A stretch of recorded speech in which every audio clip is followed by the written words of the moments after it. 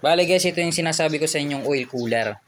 So gusto ko lang ito i-share guys kasi baka marami pang hindi nakakaalam na pwede palang lagyan ng oil cooler yung mga motor nila kahit, kahit walang built-in na oil cooler.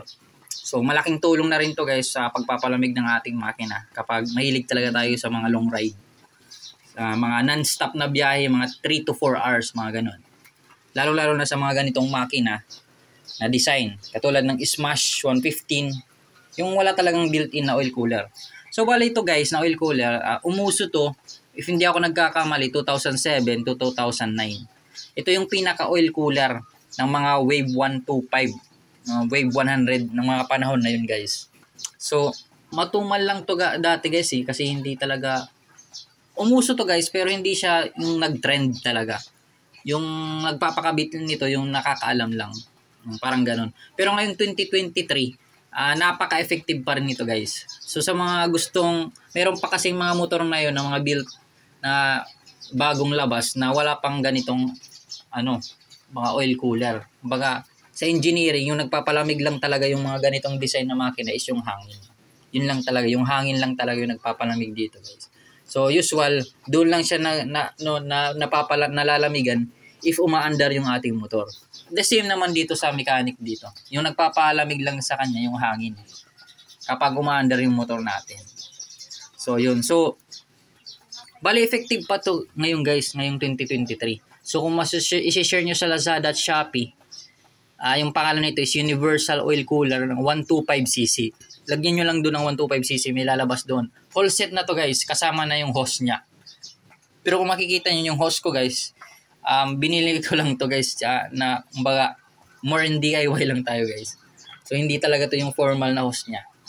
Okay, pero pag bumili kayo nito, kasama na yung host niya, basta kompleto isang box siya. So, in fairness, 20, year 2023, available pa rin yung mga ganito. So, pwede nyo kabit, kabitan yung mga motor nyo, lalo na yung mga smash. Tapos, hahanapin nyo lang guys kung saan yung outcome ng mga oil natin. So, eh, dito ko nahanap yung outcome ng ano, kasi lahat, kung mapapansin nyo sa mga Suzuki ng mga brand, ng mga motor na walang built-in oil cooler, mapapansin nyo meron kayong bolt dito. Tapos, pag tinanggal nyo yan or pinaluwagan, tapos mag- mag-rev kayo, mag-revolution, may malakas yung pressure na lalabas dito na oil. Isa lang ibig sabihin yan, konektado siya sa oil pump. So, ito, correct me if I am wrong guys, ah, ito, siguro yung purpose nito, if gumagana ba talaga yung oil pump natin or hindi. Yun yung purpose nitong bolt. Kung bakit meron dito na pag niluwagan, may malakas yung pressure na lumalabas ng oil. So, bali dito, dito ako nagkaroon ng chance na lagyan ng oil cooler, another pampalamig ng makina. So, bali malakas yung pressure na lumalabas dito, dito ko na kinabit. So, more on DIY tayo guys. So, yun lang. Ganun lang yung mechanics. Dito lang siya dadaan. Dadaan sa aluminum oil cooler natin. So, doon siya lalabas. Outcome doon ko lang nila pinalabas sa cylinder head. Uh, nagla, nagpalagay na lang ako dyan ng butas. Tapos, inipoxy ko. Yan. Yung ginamit ko nga palang epoxy dyan, mas matibay guys, yung marine epoxy. Yung pambarko. Talaga na epoxy. So, yun. So, pwede rin kayong gumamit ng ano, ng epoxy na ano, pang, ano talaga, pang makina. Basta, importante lang naman, hindi siya ano, uh, tumagas. So, yun guys. Yun lang yung mechanics guys. Dito, lang lalabas yung pressure. Dadaan dito sa oil cooler natin. Tapos doon siya lalabas. So, ganun lang. Kahit kayo, kahit kayo, pag mag-order kayo nito sa Lazada at Shopee, kahit kayo na lang yung magkabit. Ganun lang kabisig, ganun lang kadali yung magkabit ng oil cooler sa mga motor na walang built-in. So, napakadali lang guys. Uh, bigyan ko lang kayo ng tips din kung mapapansin nyo ito. Ito, ay, sariling idea ko lang to guys kasi makulit kasi yung isip ko guys eh. so ito guys, makikita nyo, sensor to guys ng ano, sen kumbaga gusto ko kasi habang nababiyaya ako, hindi na ako kapa ng kapa dito kung malamig ba or mainit, mga parang ganun. Gusto ko ma-monitor na dito sa ating dash board natin, mapapansin na, mamonitor natin if gumagana ba talaga to or hindi. I am the one, the one. So, syempre hindi tayo magpapahuli. Kahit matagal na yung motor natin. So, nag-order ako ng digital therm- thermometer. Ayan guys. Ito ka lang siya nilagay. So, familiar Nice. Familiar ito yung mga na gumagamit nito. Yung mga generator or yung mga kailangan talaga ng mga temperature. So, ito, familiar kayo nito. Pwedeng pwede sa motor guys. So, bibigyan ko na kayo ng idea ano, pwede talaga. So, an effective. Patagal-tagal ko na rin itong ginagamit guys. I think mga 3 months na. 3 months. Pero effective siya guys. Nagulat ako kasi very effective. So, yun. Ito yung pinaka-sensor niya. Ah, namomonitor talaga niya if malamig ba to o lumalamig ba or hindi. So, siguro yung pinaka naano ko dito na lamig is mga 20 line of 2, mga 20 to 29. So, ngayon, i-open natin. Oh my God! Wow! So, yung reading niya is 27.2. Ganun po kalamig yung oil cooler natin ngayon. Usually kasi hindi umaandar. Yung pag umaandar to guys, usually yung pinaka-maintain na, na, na yung pinaka-init na maintain na kapag nasa, I think, nasa 3, 3, ta, sa Tresera ako natakbo or 4, mga siguro mga 60 to 80 km per hour. Yung takbong pogi lang guys na maintain na mga siguro mga dalawang oras na non-stop.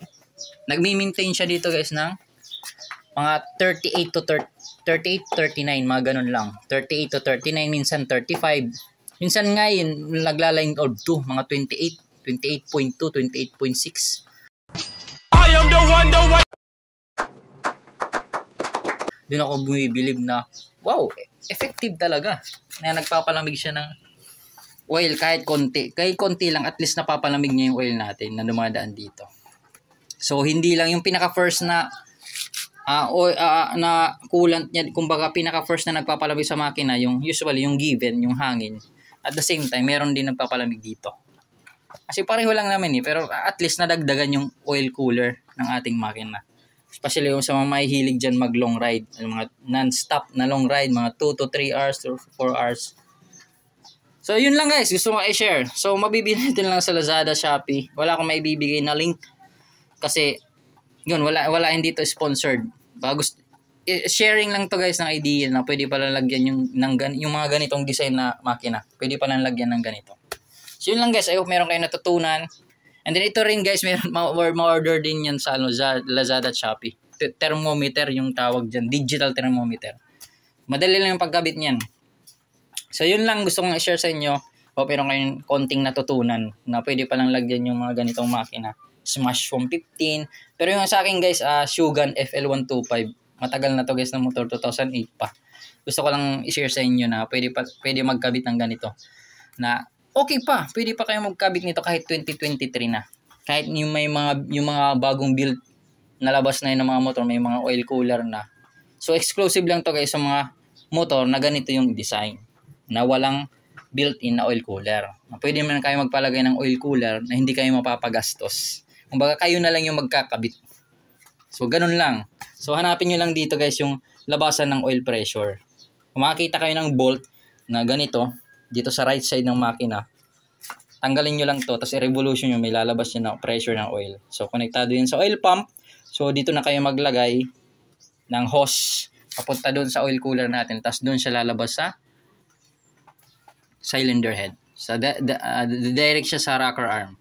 Ganun lang guys. Hope meron kayo natutunan. So, stay tuned. Bye-bye.